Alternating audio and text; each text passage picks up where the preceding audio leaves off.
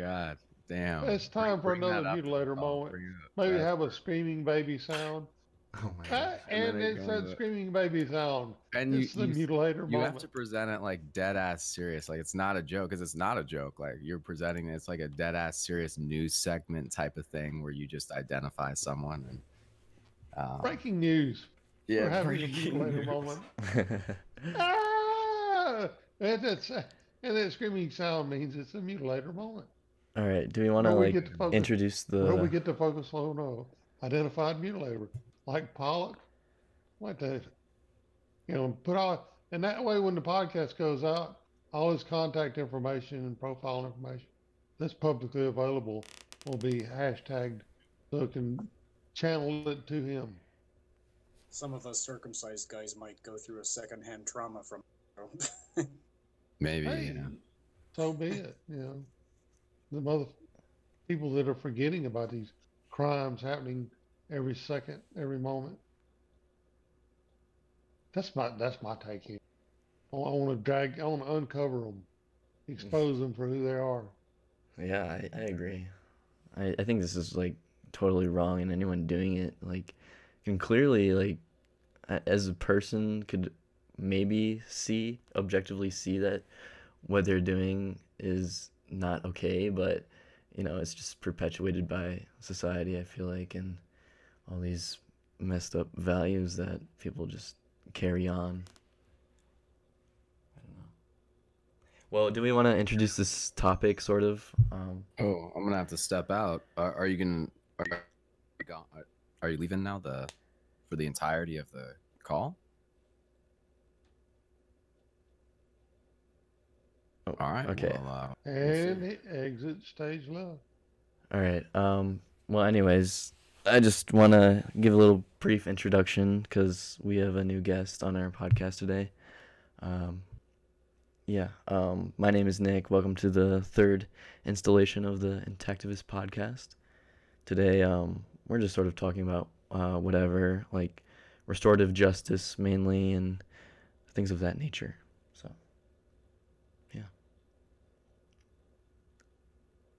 Cool. oh, are we all introducing ourselves, or Do you want to introduce yourself? I don't know. why not? Yeah, I'm Carter Steinhoff. Um, I'm gonna be primarily speaking about restorative justice today, but I'll hop in on any topic. That sounds good. I'm. Tom Maples.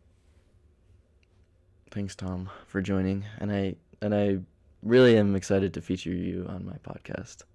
It's a pleasure. Well, thanks, man. Yeah, yeah. Glad to glad to be here. Um, I thought your story was like pretty interesting when I first met you. Um, yeah. Um, restorative justice. Do you want to sort of explain what you mean by that? Sure, yeah. So there's another concept that I want to present, and that's related to um, truth and reconciliation. And the only time that I've heard this term reference, truth and reconciliation, is in the context of South Africa, uh, which I haven't really looked into in you know to the depth that I should have at this point. But to the best of my knowledge, I know that the federal government in South Africa um, initiated a policy called Truth and Reconciliation, or the, the that's what the process was referred to as, and the federal government investigated some um, human rights violation that took place. And then, so that's like the truth part, right? They discovered and um, spoke with the victims involved and looked into this and gave a detailed summary of, of their accounts. And it wasn't, you know, some BS process where they were trying to um, just cover everything up. They, they really went and investigated this and, and to, you know, the best of their ability, got understood the gravity of the situation and accounted for everything. And then they implemented the reconciliation part of that, which is a restorative justice component of the plan, where they began allotting I believe, just direct monetary compensation for the um, human rights violations that took place during that time. And so I'm advocating for a similar policy to be implemented at the federal and state level with within the United States. And I haven't really fleshed out 100%, you know, the argument that I like to present um, but I'm working through it in my mind right now. And so I'll break down where I'm at in this moment in time. My thought and why why I believe this is justified in, in the case of routine infant circumcision. And if you were a man who was um, you know, had a penile modification as an infant, or really if honestly, if you're a, a woman, a man, an intersex individual who had a genital modification surgery as as a child that wasn't for dire medical need like gangrene or frostbite right or something that really actually requires that tissue is removed from your genitals um, you should be not only should you know this be investigated by the federal government on your behalf because they created the framework that allowed this to even take place they provided a framework, a legal, logical, ethical, moral framework. They fostered all of this and created an environment in which it is permissible and in some cases even encouraged to perform tissue removal surgeries on children's genitals in mass. I mean, this sounds like something out of a dystopian future or something like that, but that's actually the reality, unfortunately, that we live in right now. And um, this isn't really on people's radar in any way, shape, or form. I'm definitely trying to change that along with a lot of other people. Um, but I just don't think that um, th- the reason this sounds so far fetched right now, the reason that f- monetary federal aid sounds far fetched uh, from and state aid as well towards restorative justice is because people can't really comprehend the gravity of the situation here um, and it's really hard to paint that picture for them. But strapping anyone down, whether you're an infant, whether you're a juvenile, whether you're an adult, and performing tissue removal surgeries. First of all, this isn't like any other type of tissue on your body. So I, I, you have to go through this long process to get somebody to the point where they can understand why the consequences of this are so severe. So not only this isn't like tissue on any other part of your body really. And that's that's the first common misunderstanding that people have is they think it's like just skin right? You hear it commonly referred to as extra skin. Well no other skin on my body is erotically charged or is erogenous right? I can't stimulate my you know face right here and feel erotic sensations so this is your first hint, and they I'm not sure if they even know that this tissue that's ablated from the penis is erotically charged like that. The common person who's doing this to a child or the physician, I'm not entirely sure if they're fully aware. Some definitely probably are. Um, and really the the American public at large and certain areas of the world um, certain cultures and communities, I'm not sure they understand the significance of this tissue and the properties of this tissue. Why why it's so valuable to a human being um, is because it has like this potent erogenous capacity where it can, when it upon stimulation, it stimulates your neurotransmitters and produces, um, you know, what we call pleasurable feelings. And this is like a precious human feeling that you can have. This is a sense that you have. This is something so valuable to human beings. it's it's just like eyesight and other and other senses, right? Erotic sensations are so important to us and we, we've made it out to be this really weird thing but at the end of the day it's really just a sensation right it's a sensation that is a drug like experience for you, right? It's the only like natural human drug like experience that you can have. And um, it's healthy for like it's a good thing for you. It's it's this very unique facet of hum of of the human experience of you know being a human being. And that is partially or fully being taken from children in mass in this country. They are strapping them down and performing penile modification surgeries that excise generous amounts of the erotically charged tissue and the functional tissue. It's not just that it's it's erogenous in its own right. It has a strong functional purpose. It's like the primary stimulatory mechanism for the penis as well. So you stimulate the entirety of the organ with this mucosal membrane erotically charged sleeve of tissue that stimulates the glans and the shaft. And really, the tissue they remove is the shaft tissue.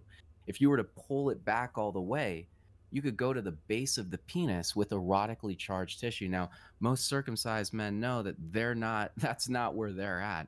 And if people are familiar with the coverage index, you know, if you're at that C1, C2 level, to the best of my understanding, you've had like 70% of that mucosal membrane tissue or more removed from your penis. That's not a trivial operation. That's an atrocity. And that's a radical operation that has totally changed your sexual organ. And if you are comfortable with that having had happened to you as a child, I want to have a conversation with you. I don't believe that's appropriate to feel that way in any way, shape, or form. And I'm taking a stand on that. That that's not permissible to to believe that it is acceptable that you were strapped down and heinously tortured. First of all, this is not like, you know, this minor operation. What I've seen is like something out of a Saw movie, right? I went out of my way not to watch one, two, three, four, five infant circumcision videos, but probably every one that exists on YouTube. And the conclusion that I came to in the end is this is some sick, sadistic, sadistic torture of a fragile juvenile that defiles them in the most perverse and sickening of ways possible.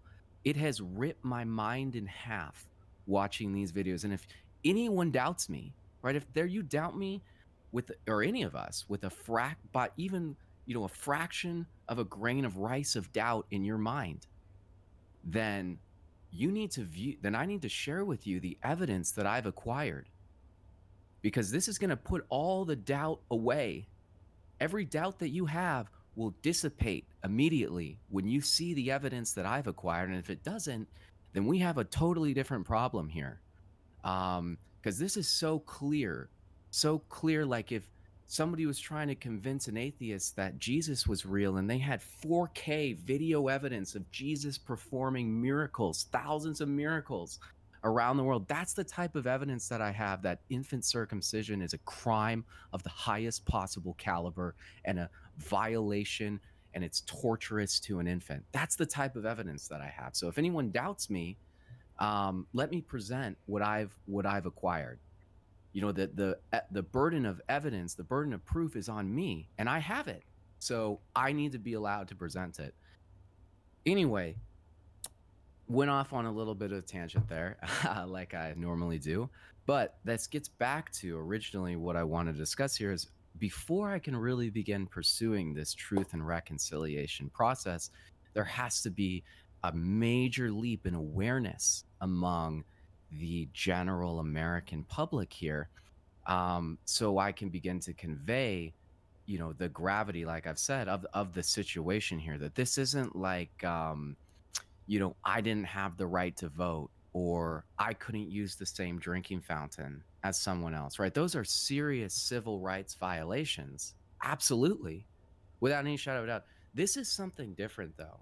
This is, I was heinously tortured and permanently mutilated and I have no avenue for legal recourse because the system that I live in not only permitted this to happen, but then gave me no ability to, no framework to pursue legal justice. So I don't really feel like a citizen of this country. And a policy change and an apology is never going to be enough for me. Right? That's not enough you know, to reconcile the atrocity that was committed against me and any other man involved in this. So I don't know why I'm paying taxes. I don't know why I'm a part of this society when the first reason you are a part of a society is for physical protection. That's the first reason why you subscribe to being civil and being in a society is because you you know they got your back, man. They got your back. No one they did not have my back there. That is the opposite. That is the worst possible thing that could have been done to me at the most fragile time of my life. All right, well, I'll end on that because I just dominated like 20 minutes of the conversation. But Uh, You're good. I think a lot of the issues that I face as an intactivist, um, when I when I do express these concerns about circumcision, is like major denial, uh, and like just total shock, honestly, because these people like have not really cared or thought about like the foreskin like this as we do. I mean, it's it's just weird because you get to see their reaction and it's like when I go out and do these protests or whatever, it's like you you see their reaction and then they sort of have to digest this like sort of cruel and sort of hard to digest information. I don't know. It's it's interesting, but I I feel a little bit frustrated in that aspect of intactivism right now. Um, I don't know. Yeah, no, I definitely hear you. I, I would be so great if we had resources that were able to convey the situation, right? If we could just, right now, there's nothing like that I can share with someone that really, except like an infant circumcision video, but it's not really diplomatic or in your best interest to share something like that in most environments. So, um, I found that that is a huge that's something that we're really lacking right now. I don't really consider myself an intactivist to be 100% honest with you. I have my own brand, um, my own personal brand, right? And that's that's what I align myself with. That's where my allegiance lies. It's really just with myself um, for the time being. But I do align with a lot of what intactivists um, share or, or how they feel and, and what what their viewpoints are.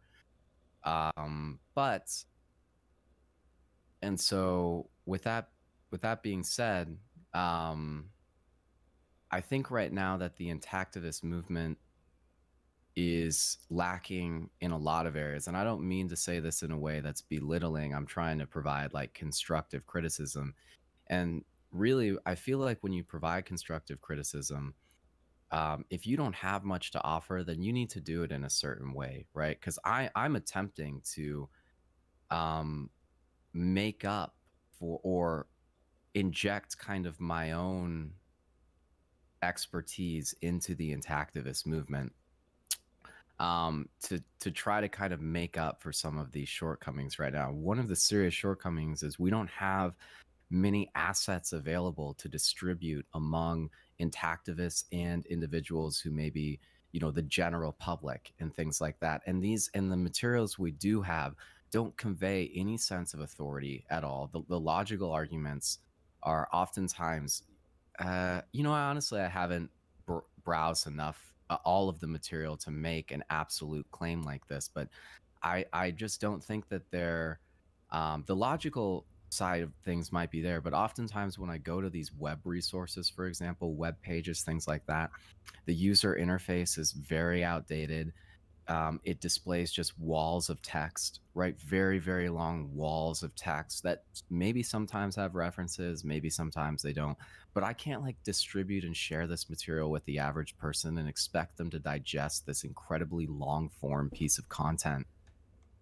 Um, and so getting you know different assets maybe graphical assets um video short videos things like that that can be distributable um, to others is a major sore point right now um, that needs to be made. You know, we need to rectify that that situation. Um, but there's a lot of other areas as well. But I, I hear what you're saying, Nick. That it's difficult. Where do you, what direction do you point someone in? That's what I always struggle with too. It's like, Mhm. if you want to learn more, where do you go? What's the next step? Yeah, I, I completely agree with you on the whole website thing. I've definitely like in my research, like when I first discovered uh, this like whole foreskin restoration thing, like I was super skeptical of it just because of how the websites looked and like I just did not trust it. I mean, it's Right.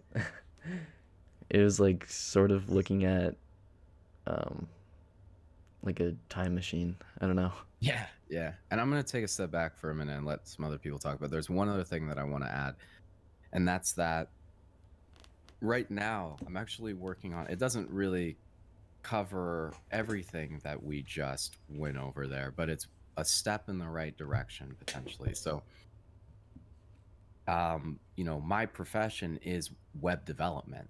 So I'm interested in utilizing that experience that I have and that expertise that I have for intactivism related purposes. And a tool that I'm creating right now with a group with two other people um, is the the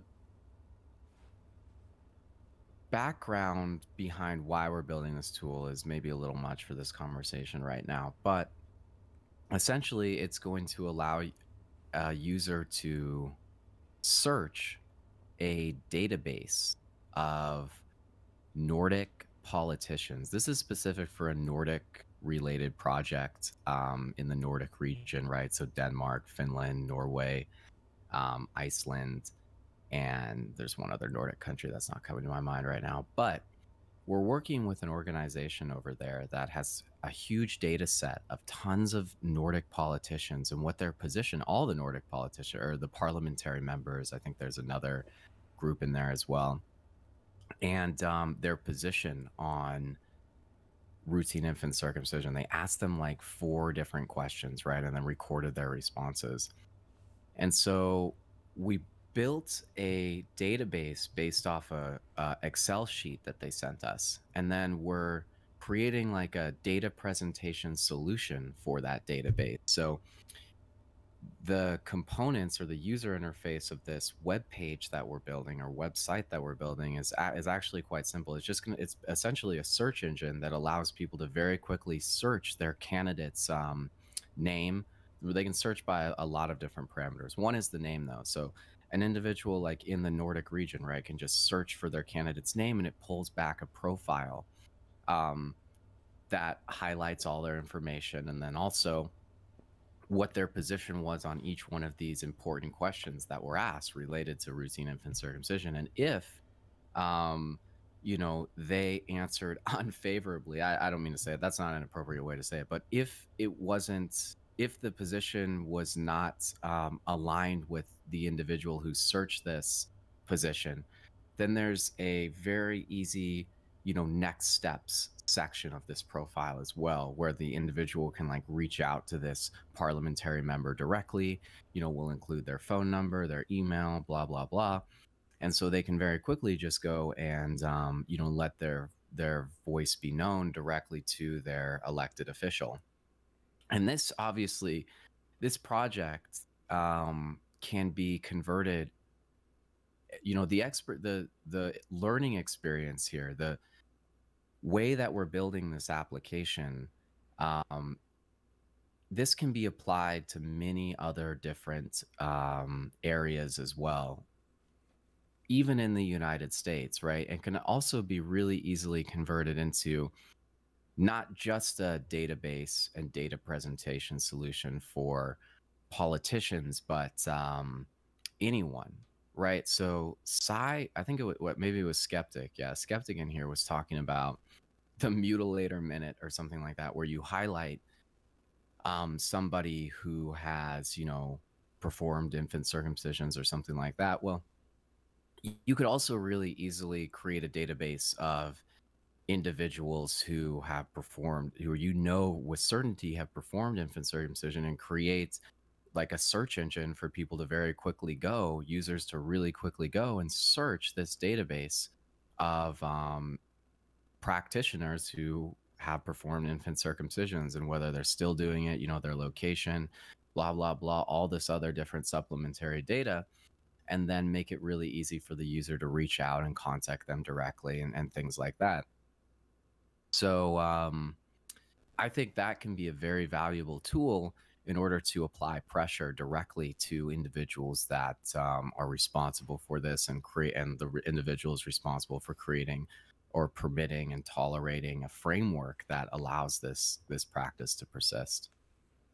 I would be totally open to applying that like in the United States when that once that becomes like a popular um you know issue. Right. But as of right now, it, it doesn't seem like it's important to people. yeah, but yeah. Not, you yeah. know, But in the Nordic region, that's totally something? different. yeah, I, I I have a question for Carter. Sure. Well, we have a staunch human rights ambassador in Denmark Yeah, I saw because that. on December 14th, she Yeah. tweeted, Human rights must be taken seriously. And she applauds Kelly Craft for insisting on having a debate about the effectiveness of the UN Human Rights Council. And within 24 hours, her whole perspective on human rights was totally revealed when she hosted a religious person advocating I was there, yeah. advocating for genital ritual genital cutting, wow, which is really a disturbing contradiction, Yeah, I absolutely agree with you. Yeah. delusional. You know, um, America's based on freedom from religion and of religion, not imposed religion, especially a religious right, R I T E, which has been um, had an overwhelmingly devastating effect over health and sciences in America and globally. Globally. So, Absolutely. Yeah. So I think everyone, most people, not everyone, but most people watching this are probably aware of what you're talking about. But maybe Nick can uh, edit some of this in post production here, or some, or add some link to this, yeah, I can put a link. because because this really is a, a fascinating um, development. And and I didn't actually know the context that she was um, championing human rights right before she hosted um, this Jewish speaker. I'm I'm not sure what where he was from. He was definitely part of some organization, um, but he specifically came to speak on um, religious intolerance and kind of the Jewish perspective on how they feel about the tr- the development within Danish politics and really Europe at large of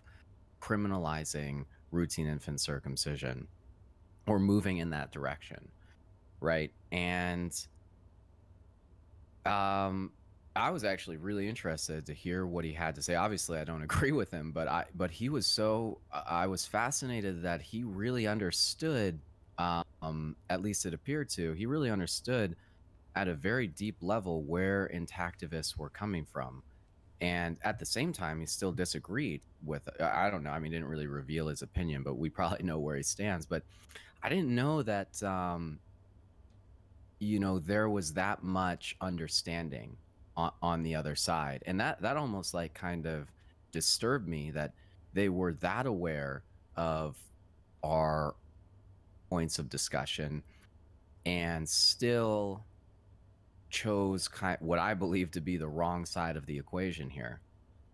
Um, and that so that was a very interesting conversation. It wasn't really a conversation; it was him giving a lecture. I wish it was more of a conversation, and it should have been. It should have been open dialogue where anyone could have spoken, but it was just him giving a lecture to a group of nearly all intactivists. Everyone there was an his whole audience was intactivists. Well, hey, it's, can I interrupt you there? Sure. It, it, it's curious you, you bring that up. Um, under the 14th Amendment, we have an equal protection clause. hmm And being as, as our ambassador in Denmark hosted a religious speaker under the seal of the United States of America, leaning pressure on the small nation of Denmark to not protect all their citizens equally. Um, I believe that we have standing to appeal to have an equal footing and speak under that same seal That's very interesting. I'd be, on I'd the be, other side of the issue. I would love to explore that. I actually reached out during the meeting and tried to see if that was possible. I had no response, but there might be a, a different way in which we can reach out and um, kind of elevate this concern that we have because I think it's extremely valid. I, I definitely think it's an uphill battle as well. Um, I did a little background research. Man, the name is eluding me. It's slipping my mind. But what what was that? Uh, the the uh, the name of the woman who is the diplomatic um, liaison to, to Denmark. What and I forgot that. Carla What was her name? Sands. Carla Sands. Yes. Yeah, her late husband was Jewish. Actually, I, I did some background research on her, so I don't, I don't necessarily say in all cases that that um, is going to introduce some bias, but I believe in this case she has an incredible level of bias. Right? We probably aren't even aware of this type of allegiance that she has and i notice sometimes with religion it can you can develop this unbreakable allegiance right so she will probably you know would fight to her last breath to keep this practice persisting and represent the the Jewish side of the um, coin here in the best way that she possibly can. And that might not be fair of me to say, but that's in the, at this moment in time, that's what I believe, right? She's going to suppress our voice as much as she possibly can and elevate the voices of people who um, want this practice to persist, and especially the Jewish voice. And we're not going to have the representation that we deserve. And I've already been down this path, unfortunately, to be honest with you, in which I tried to interface with um, city and county officials in the in in the region that I lived in in, in Washington State. And I actually got pretty far. I spoke with elected officials. Um, it, it was really a u- interesting process to to see this um, play out in real time. But it it was like uh, you know, first you reach out and you you get a um, executive assistant or somebody responsible for speaking with um, citizens who have concerns, and you get past that gate. Right, it's like you turn a key, you say the right things, and you get to the next person on the list before you can speak with an elected official and I played that game right. Uh, uh, the first couple of times, I totally screwed up, and and I didn't know what to say. I didn't know how to unlock that gate. Um, but finally, I kept persisting, and I would, you know, we'd have Zoom calls even because you couldn't actually because of COVID, you couldn't actually go into the um, the the areas themselves where typically these meetings would happen. And so I'd have these Zoom calls with these executive assistants and other assistants and and people responsible for hearing citizens' concerns before the elected official would. And it was just like a fascinating product because you have to say exactly the right things to get to the next person. And so I'd try and I'd fail and then I'd try and I'd fail. And then finally I'd figure out the game that you have to play to to get your concern heard.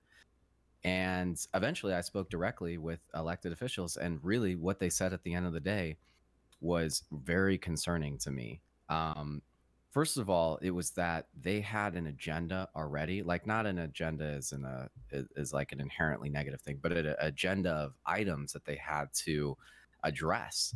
And my concern was not even in that queue, right? It's it's way far off in the distance, and they have all these other things to address, like racial equity, um, and this whole other litany of of concerns, and that I wasn't. Th- this concern would have to wait and I definitely felt that that was obviously completely unfair, especially after I conveyed the gravity of the situation. I was like, guys, this is this is a atrocity that's being committed here, and I was able to, you know, really break down X, Y, Z reasons why why I believed it to be this way.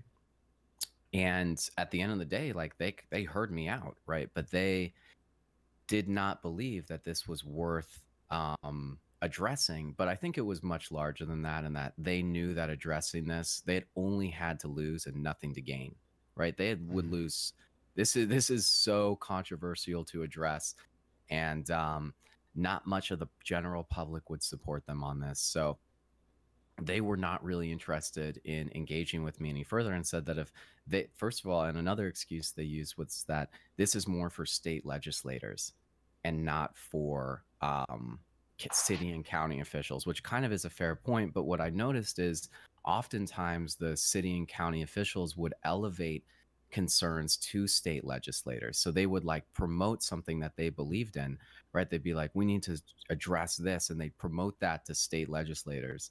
Um, and elevate concerns to state legislators. So they just had no interest in in dealing with this. And I really got some sympathetic people that were like, you know, this is a serious issue. Um, but they didn't believe that it was it, it was worth the time of day to address right now. And that that was really really concerning for me because the things that they were addressing um, I believed were n- paled in comparison to what I was looking to address. It, so Like cutting cats' claws, declawing cats, possibly. sorry, what? Like uh, outlawing and declawing cats or cutting dogs' ears. Yeah, no, that wasn't necessarily on the agenda specifically, but I, I do see those initiatives being um, put forward. And to be a 100% honest with you, my personal opinion is I do support that in my own right. But, um, you know, the fact that we can't outlaw infant circumcision and that that actually is on some city and county um, agendas is is ridiculous. Right. It's totally unfair. Right. It's like you get to that point where you, you make all your arguments and you're pretty coherent and your message is conveyed, but you, you come to the end of the line and it's like, oh, you you, you get shut down anyways because the Yeah. general public thinks you're you're not good enough or you're not important enough to deal Ye- with. You know, a lot of people say that like rioting and being out in the streets and being aggressive is not the right way to go with intactivism. But I noticed in my city or the city I used to live in, Seattle, it was actually really effective. Like the Black Lives Matter movement or people associated with that or people associated with racial equity and racial justice, they would like go out in the street and protest this uh, very aggressively Mhm. and you know riot and geez guys the city officials like bowed down at their feet. Right. Completely, like they they'd get in these city meetings i would join them because i was trying to like i was like that one guy in there trying to elevate infant circumcision as a concern. And i was listening to their pitches and what they were saying and what needs to be done and there was no diplomacy really at all. Cer- certainly some people were right? Very diplomatic very well spoken but a ton of people were not and just like railing them right? Telling these city officials they were just utter trash a stain on their shoe. And it was really effective. Like these city officials did things that i thought were crazy like elevated an ex pimp they put an ex pimp on their payroll paying him over a hundred thousand dollars a year and his job seems to be just to critique the city. He just goes around criticizing the city getting paid a hundred thousand dollars. Um uh a year or more. I think it's honestly more than that and that's his only job is he just kind of reviews the city's uh racial equity um policies and things like that and he's getting and he's on the city's payroll. And i'm like guys i'm try- i have a serious concern i'd like to elevate here. Um can we can we focus on this issue too instead of elevating ex pimps to to being on the city's payroll getting paid literally just to critique you guys Right. um it's not like Does Medicaid? Oh, excuse me. I mean, racial issues do matter, but like it's like I mean, we have issues too. I mean, it's like yeah and so as a white hon- person, as a white male, it's like it's tough. I mean, it's like, tough right now to in- even to even convey this message is like putting myself out there like for cancel culture to just like roast me or whatever.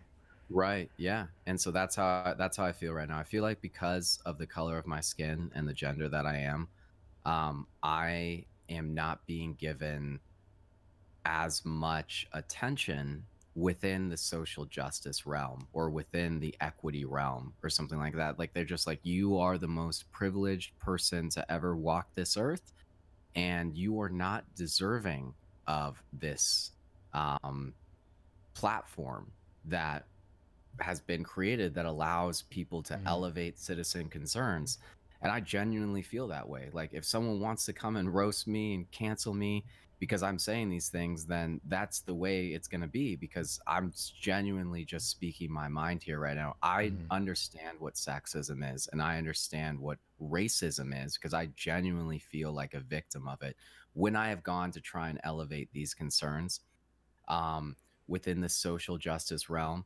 There is no place for me. Mhm.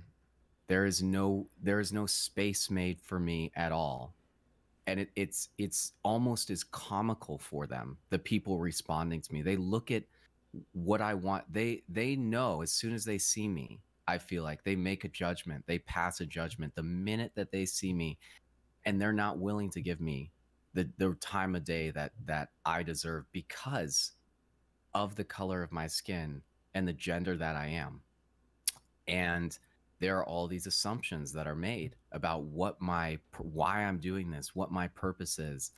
Um, Mhm. and I just do not I I feel that way. And if I'm wrong, you know, please somebody tell me and um, let's have a conversation about this because that's those are the genuine feelings that I'm experiencing when trying to engage on this issue um, with individuals that are responsible for elevating c- citizens' concerns within the social justice realm. They have no, there's no place for me to do that right now.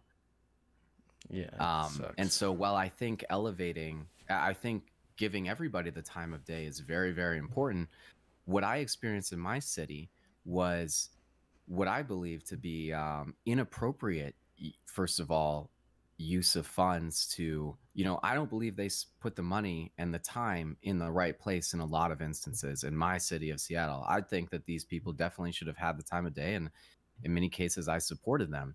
But um, when I saw that this individual was put on the city's payroll, who I in no way believe should have been on the city's payroll, at the same time, concurrently, when I was trying to elevate my concern and have you know funding and research and analysis put into my concern, it was devastating for me psychologically. I was like, I'm paying taxes in this city um, to address, you know, to to address not you know for a lot of reasons, but one is to address concerns that citizens have. And you know first of all i felt like they were mismanaging the funding that they were getting. And, and second of all i felt like the fact that they there was no place for me to elevate my concern was just it was um, crippling psychologically for me because i believe that there was a system in place in america that allowed citizens to be heard um, and their concerns to be elevated and that there was some type of fair and just policy that would that I expected to happen especially since I saw all around me these other social justice groups getting elevated just instantly they just walked in the door and bam at the very top where for me that was not the case at all I met resistance all along the way and then at the very end of the day they said no we can't we're not going to help you do anything so we're going to walk away, and that's the end of the story. And I saw all around me issues, you know, being promoted and being taken to the highest level. And this extremely severe issue, this atrocity, this probably the greatest systemic human rights violation, systemic human rights violation being done in the United States, right? That's literally being promoted by um, authority figures and widely being propagated um, this needs to be addressed. Like, you don't have to make a policy change on this right away, but you need to do an investigation into this. You, this isn't just, you know, I've elevated, I'm making a major claim here. I'm They- they saying that they- children in mass are being mutilated. All right, I'll stop. Yeah, they, they don't want to tally the numbers. They, they do, they do, do not want to account for it because they, if that, the accounting is done and the secondary complications are accounted for and the financial cost is, is figured out, it, it will put it all in focus. And they, they do not want to track the numbers. They know this. I actually don't know how much they really know, to be honest with you. I, I think they're primarily thinking maybe maybe that's the case. I honestly think most people just put this in the far recesses of their mind. They don't want to address this. This used to be the case for a lot of issues, like racial equity issues, right? Maybe a politician here this wants to say out in one ear, out the other, right? Oh, well, I'm not necessarily thinking about politicians don't necessarily know that, but the the insurance companies and the medical industry that profits from this understands it, where their vulnerabilities are, and when when they're going to reach a culpable, a a consequential, critical mass to where it hits them in the wallet. They're they're aware that that's a, a looming problem, and I imagine that the the amount of pressure the intactivists have put on people like Andrew Freedman and others on the AAP um, board to review circumcision policy, it's probably hard for them to get someone to volunteer to be on another review committee. I would imagine. I, wouldn't put it past them to put together another review committee. The, but I hear you. I I bet it's increasingly becoming more unlikely. Right. Uh, I would, if I was a doctor, I would not, I would not want to be on the next review committee, just because uh, there's there's nothing to gain from it, because they're not getting paid for it. They're a trade organization. I think a, Right. s- a slow investigation, like the Truth and Reconciliation thing, would be so amazing for this issue because, like, even to begin, like, on the reparations, like, is unfathomable. So, like, just trying to understand that aspect would be, like, super beneficial, I think, for people. I don't even know, like, how Americans would start doing this or like you know get their local officials to be on board with it but i think it would be a great Yeah. idea You know, I think this is a good first start. Is um, having these types of conversations, putting these podcasts out there, and in addition, you know, a lot of the things we say right now are really controversial, especially where I'm coming from. Um, and unfortunately, in this cancel culture right now, it is um, it's scary to say the things that I'm saying, and I'm worried about putting my voice out there and things like that. I think a lot of men are are in the same position. Is that um, you know we need to be able to communicate the level of violation that this is and convey the gravity of the situation to people while still trying to remain you know still looking to remain diplomatic and and things like that but you know this was an incredibly violent act that was inflicted on us. And you know when i say the word atrocity there's a lot of context behind that and meaning behind that. And so to begin putting this out there is is really difficult right now. And i would love an environment where what you say at one moment like and also at the same time like i can say the wrong thing that necessarily something i don't agree with 100% but in the moment um you know that's that's where my head was at. And then that can come to haunt me 10 years later or 5 years later or months later or weeks later or something like that. I don't believe in that in all at all. Um as human beings like our thought process our minds you can be one person in one moment and literally a moment later be completely different yeah i think um part of it is like drama and like people just want shit to talk about and they're looking for things to gossip on and it's, it's like sort of that thing.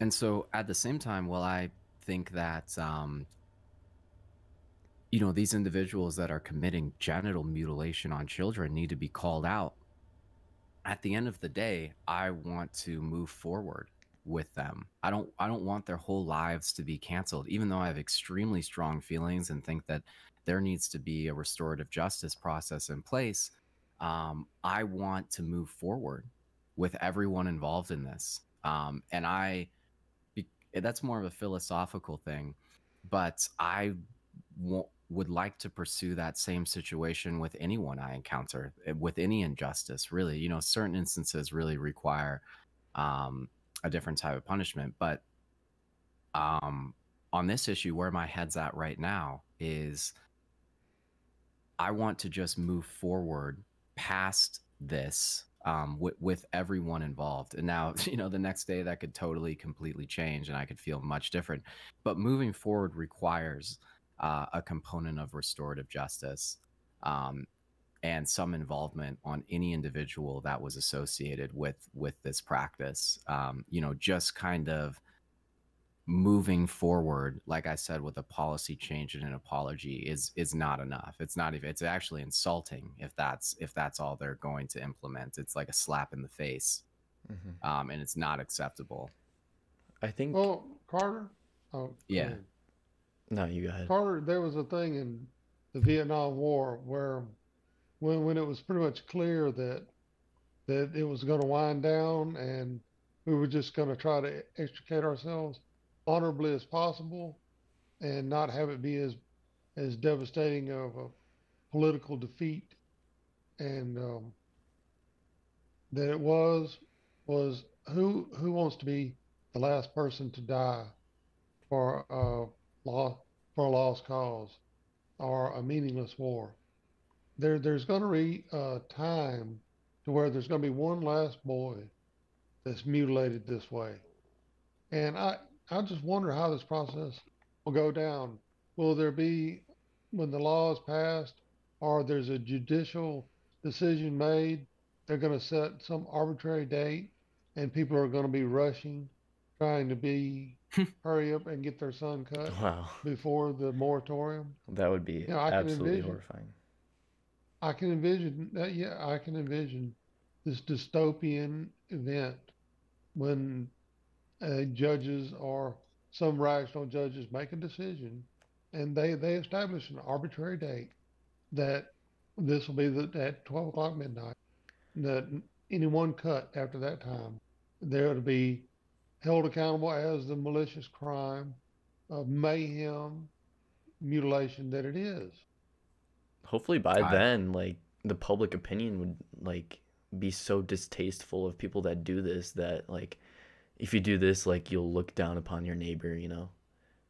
there's still people that would probably get it done unfortunately uh, especially within the religious realm right because that is um, more of a commandment you know that they believe than and and that really takes precedence over the social cost and things like that um, but there's a lot most people would stop immediately right? Most people would respect the law and respect what the law is going to be and respect that this is now viewed as something much different. And you know also that would really change their mindset on if the, that they consider this permissible because right now the majority of people that find this permissible do so because the authority figures um, have created that environment and so they're just going they're just making their opinion based on what the authority figures um, that they respect have sided with. So when you go and search this online, or when your physician is telling you that this this has all this all these benefits, the fact that they're even hiding this as a service conveys an, a sense of authority that this is a legitimate thing that you can do. So I think way before it's criminalized, the medical community is going to distance itself from it right and say we're not we're not performing penile modifications on juveniles anymore without you know dire medical needs so you're not going to be able to just routinely ablate your infant son's genital tissue um, without you know very serious reason um, so I, I definitely get what you're saying though. That's an interesting question the, the last day. Um, i think also what's going to happen is many parents even if they're interested in doing this are going to be pretty reluctant because a legal framework is going to exist in which the men can then go and pursue criminal charges against their parents. So on that last day, because that probably is going to be the case, it's going to be, you know, this has to get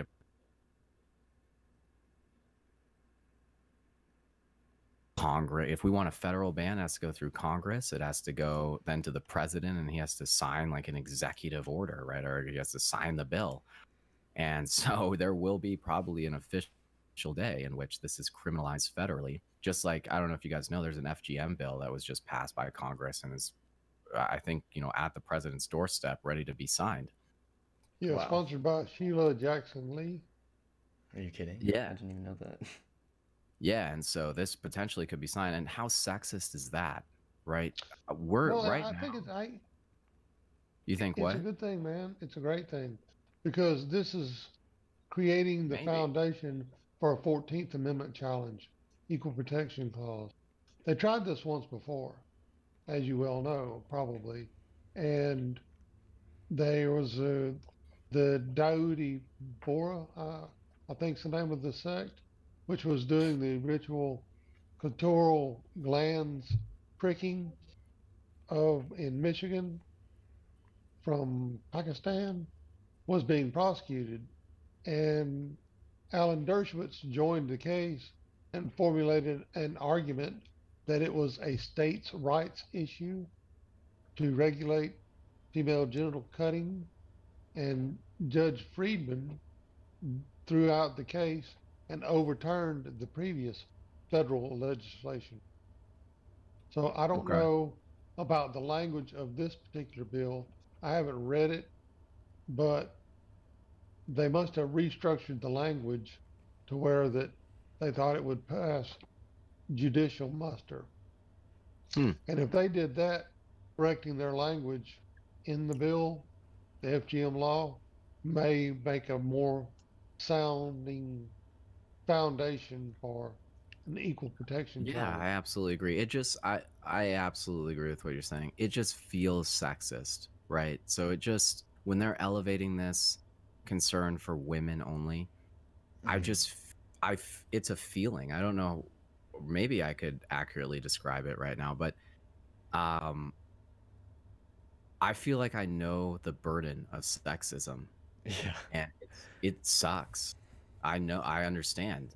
I understand what sexism is because I feel like a genuine victim of it. If anyone wants to drag my ass through the mud and mock me for that and belittle me for that, then I'm ready. I'm I'm genuinely ready for that. I'm ready to say, like, raise my hand up and say, I am a victim of sexist policy decisions that seriously impact me and the community that I want to live in.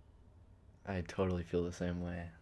So, and it is a it is a suffering that I feel relate when I see that FGM bill being elevated, and I'm trying right, I'm trying to engage with elected officials and trying to hear them out, and none of them support me, and all of them support this, which is l- literally a bill that's criminalizing excision of genital structures from women, and then completely leaves out men.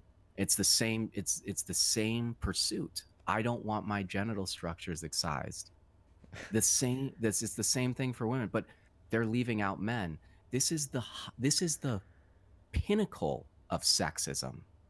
This is the highest violation of sexism. Yeah, it's the it's most clear example. The most clear It, it, it, it feels like an assault on me. I feel like a gun is being held to my head. It's attacking the male sex organ, which is, we know it has estrogen receptors in it, and it func- functions similar to a nose, and they don't understand why, why these pheromones are there. But when the foreskin's inter, in, you know, innervated and exposed, and that open mucosal tissue is intermingling with the female partner's pheromones. There's there's subconscious and real biological bonding there that's Yeah. being interrupted because of that callousing over and Sure. sealing that mucous Sure. membrane. I- There's I- a reason you know I, that that um that we have these light touch sensors. yeah There's a reason that humans kiss. That these feelings on our lips, so we kiss. Yeah. And I've read a little bit about what you were speaking about, and I'm I I think it's exploratory research, but I'm I definitely want to learn more about that myself and want and want to see academic papers that are published in that realm. But I think a lot of you know this bonding process and pair bonding and things like that. That's an important component of this discussion because I feel like that's been disturbed and muted for me um, personally. But even just my own personal sexual pleasure and enjoyment without even a partner involved, right? that's important as well. And I think many men are uncomfortable and say, you know, don't want to talk about themselves or don't. And I'm not saying you're doing this, but they don't want to make this about themselves. But I believe that's that's um, not really. I don't agree with that necessarily. It's okay to be to want something for yourself or to be even self-centered in this regard. Um, I want I, I wanted this for myself. I wanted to have the full spectrum of sexual experience and sec- and sexual um, feeling on my body for myself. Not for and for many other reasons as well. But I wanted that personal joy that was ripped from me. And Well, I, Carter, I would said- oh go ahead. And I'm not embarrassed to admit that, right? I'm not embarrassed to say that this is Well- about me.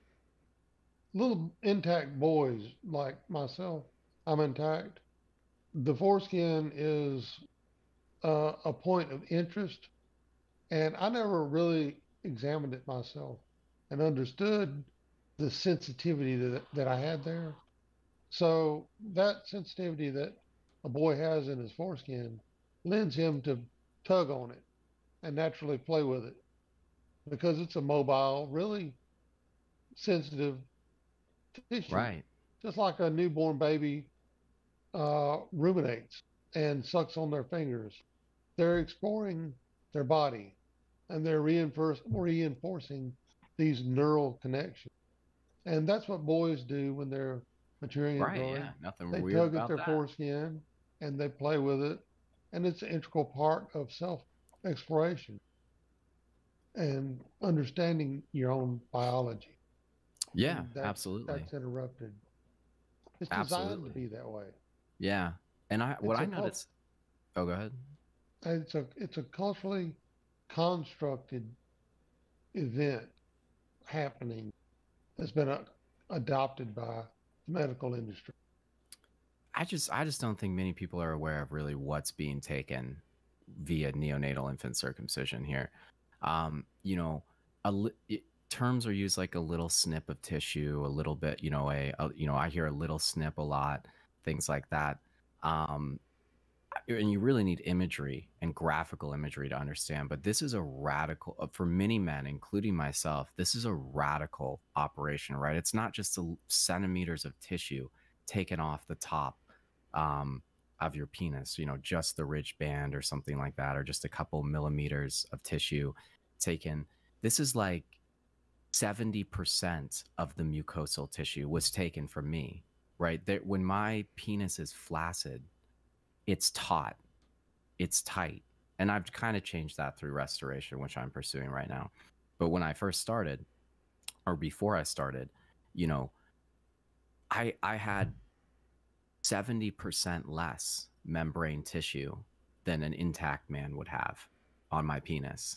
So I don't even think many intact men un- men understand that, or maybe where their sensation is coming from, as well. I'm curious about that because how could you, if if you were intact, how could you ever think that this is permissible or or not like actively speak out about that? I I, I don't really necessarily understand that if you were able to downplay it and say oh this is just a little modification or something like that then it would make make more sense to me. But if you understood that what's being done um, to many of us then there's no way to just turn your back on that. I just want to share my experience about this sort of thing because, like, as I was growing up, I I was like sexually active and sort of discovering like my own body. And like figuring out what it means to be circumcised. So like for a while, I I was sort of ignorant and I had this dry skin issue and didn't really think much of it. But as I sort of had more sexual experiences, I sort of figured out that I, for a while I thought I was asexual because I didn't really derive any sort of significant pleasure from these activities, like such as masturbation or like sex. But as I sort of like got to know myself through this process, I I realized that yeah, I am a sexual person, but you know, like circumcision has like really uh, affected me, and uh, Right. yeah, I was in the same boat. I mean, it's really like a muting of my sexual response. So uh, it's devastating, right? It's not. I wouldn't be here if if if if it was just this minor operation that took a little bit from me. Uh, I I would have I would never be here, right? And speaking about this, I would and it, you know I might consider it a violation, but it wouldn't have devastated my life uh, like like it has in this regard. So, um, and that's that's the case for a lot of men that I speak with. is It's not just that that that really begin to understand this. It's not just this minor offense. It's it's an absolute atrocity that devastates them. Um, oftentimes for for many years of the rest of their life. Um, that that needs to be commonly understood among the general public is we we've been heinously violated and tortured and the rest of our lives will be impacted by this and definitely you can restore which i'm doing it's probably going to be like an eight year long process for me i'm not kidding and it's never really going to regenerate the same properties of the tissue that was removed or things like that but it's it's an it's an adequate substitute it's just incredibly difficult to even do this process i struggle uh, doing that, restoring every day. Like I just, I hate doing it. it there's nothing. Some men, it, it's very therapeutic for them. It's the opposite for me. It's like humiliating and devastating, and um, it's uh, psychologically distressing every, every time that I have to begin doing it. Um, so, uh, but I continue doing it because the situation that I'm in is feels so dire. I'm like, God, if I have to go the rest of my life like this, this is not a good place to be in. To have that whole, you know, erotic kind of experience be robbed from me for the rest of my life. That's that's just that's not really a great way to live your life. And some people might disagree with that and say there's more to life than than just this, but come on, that's that's such an important component. yeah. Um anyway, guys, I got to wrap this up. Is there any if there's anything anyone wants to say? I have a meeting with someone else right now, but um Um, nothing much. I think Skeptic just left, but um, thanks for joining me. Um, Right, I hope right. to host another one of these sometime soon. I'll let you know Yeah. about that. all right, Um, sounds good, yeah. man. Perfect. Take care. All right, hey. Peace out. Peace.